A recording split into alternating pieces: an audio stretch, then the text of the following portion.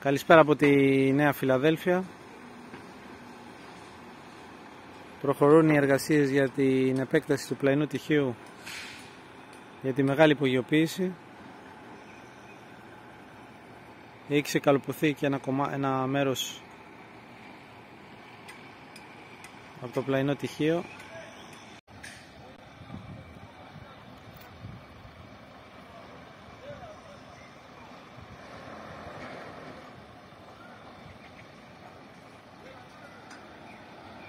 Πάμε να δούμε και πιο κοντά.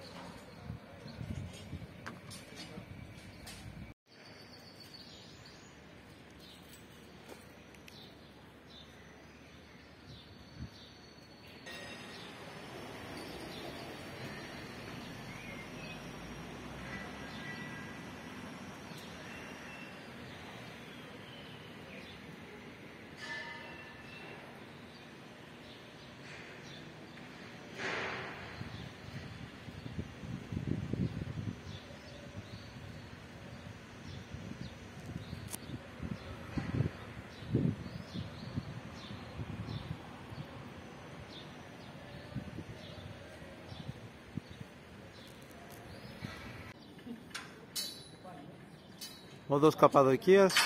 Όπως βλέπετε μαζεύονται οι σκαλοσιές από τον ε, νοτιοδυτικό πυλώνα.